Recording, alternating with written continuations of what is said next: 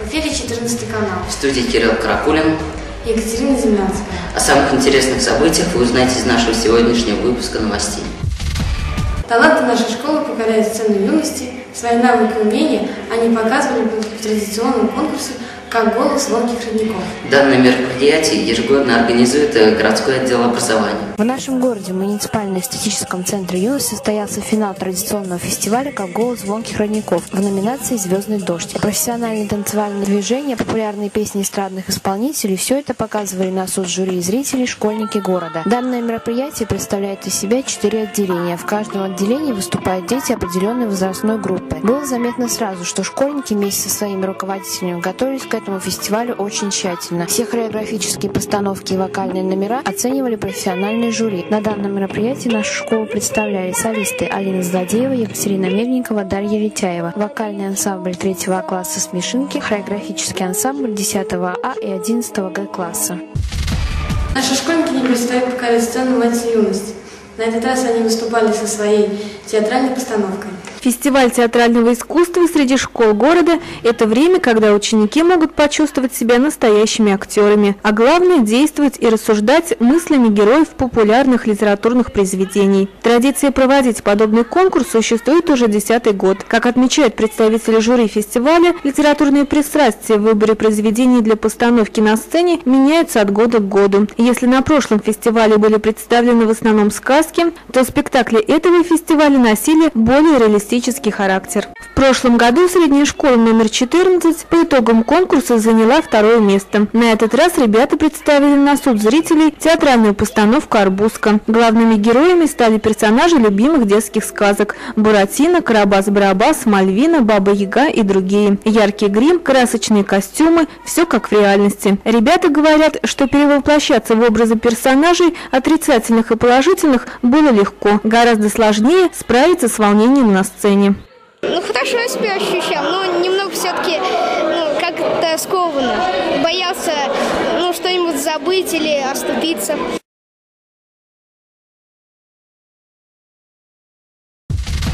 Продолжение выпуска объявления. В нашем городе стартовал месячник благоустройства, в рамках которого учащиеся будут облагораживать территорию нашей школы. Кроме этого, наши ученики взяли шествие над холмом славы и аллеей героев 9 Б класс. После изнурительных уроков, сложных химических и математических формул, а также орфографических правил у наших школьников неугомонно растет аппетит. Что же делать? Конечно, идти в нашу столовую. Ароматные булочки, леденцы и конфеты – все для сладкоежек и для тех, кто на диете. Квалифицированный персонал никого не оставит без внимания. Мне нравится еда в школьной. Мне нравится кушать Режим школьной столовой с понедельника по пятницу с 9 утра до 14. Приятного аппетита! Микросхемы, проводники и паятники – все это не любители электроники. И как раз этим людям найдется чем заняться в нашей школе. Многоканальные охранные сигнализации, универсальные лампочки, электрические термометры – все это, а также многое другое вы сможете сделать своими руками в радиотехническом кружке нашей школы. На сегодня у меня все, и я передаю слово своим коллегам. Теперь у школьников есть возможность задавать вопросы по интересующим их проблемам анонимно в редакцию 14 канала. Журналисты отберут наиболее интересные вопросы, на которые в дальнейшем ответят представители школьной администрации, то есть директор, зауч, психолог и так далее. А ведущая рубрики Елена Сироткина озвучит вопросы и ответы на них в эфире. Теперь школьники смогут задавать свои вопросы на интересующие их проблемы анонимно. Мы постараемся озвучить все ответы на вопросы учащихся. Связи с участившимися случаями кражи сотовых телефонов администрация школы напоминает учащимся, не оставляйте свои телефоны без присмотра, то есть на партах, в раздевалках, в карманах верхней одежды. Если все же кража произошла, сразу обратитесь к учителю или социальному педагогу. Услуга ксерокопии. Ежедневно обращаться. Первый этаж, канцелярия нашей школы. Девушки 10-11 классов показывали свое умение в танцах, вокале, кулинарном искусстве и знание правил этикета. Ребята, уважаемые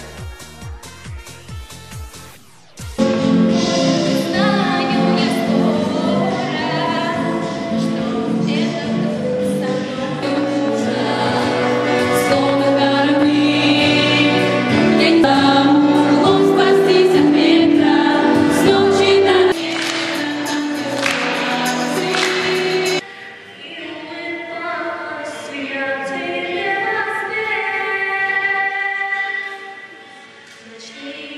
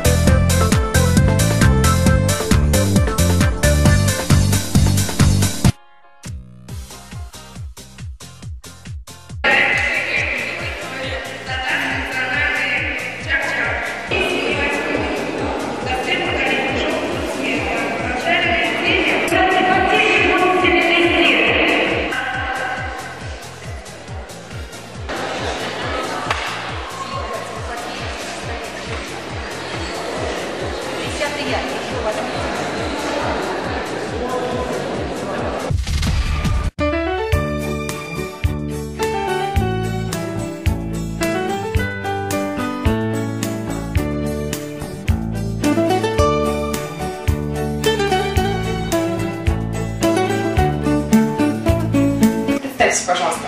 Меня зовут Аня Вера, я учусь в пятом Г классе. А, Вера, когда ты начала э, заниматься этим видом спорта? Восемь лет. А почему тебе нравится этот вид спорта? А первый раз меня папа привел в спортивную школу, мне понравилось. А сколько времени ты им занимаешься? Четыре года.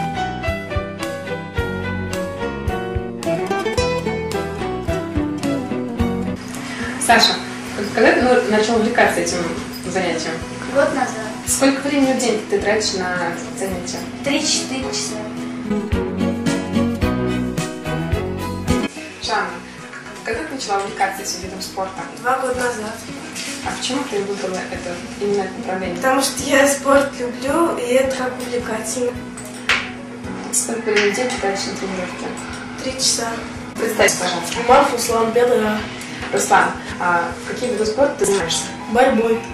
А почему ты выбрал такое направление? Потому что мне нравится бороться, участвовать во всяких соревнованиях.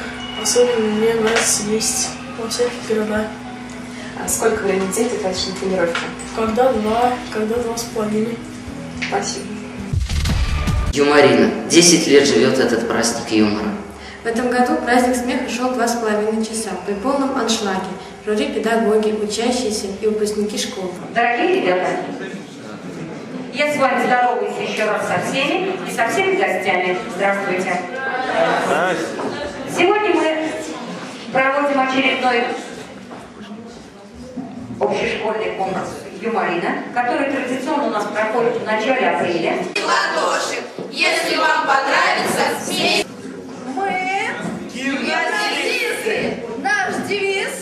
С мозгами хорошо.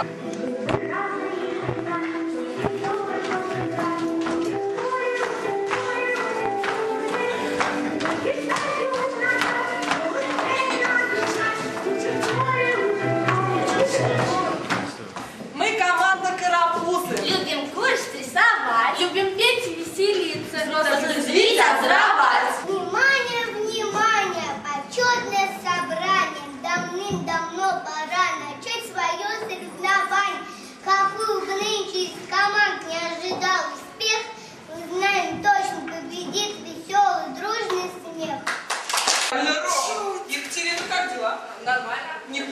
еще не родила. Елена, у какого животного два хвоста? Двухвост! Не...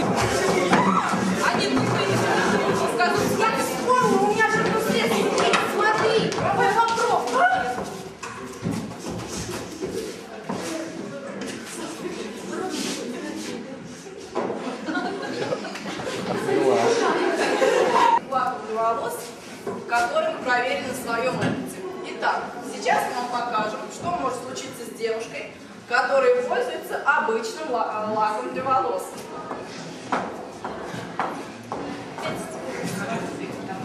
Итак, а сейчас мы покажем, что может случиться с девушкой, которая для волос.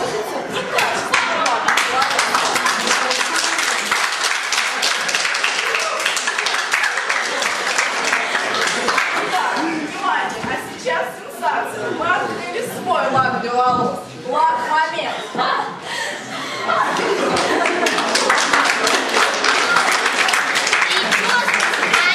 На долгий год я вам гарантирую. Итак, теперь, пожалуйста, делайте свои выводы. Настя, мне об этом не лом. Петров. Боже мой, Петров. Свершилось чудо. Ну неужели ты начал наконец-то учиться, Петров? Господи. Наверное, тебя вызвали к доске и закончился мел. Конечно, конечно, Петров. Нет, там физрук с каната был, обвести бы надо. Раньше, до применения шампуня «Живая сила», мои волосы были сухими и безжизненными. А теперь они мокрые и шевелятся. На этом у нас все. Всего доброго и хороших нам вам новостей.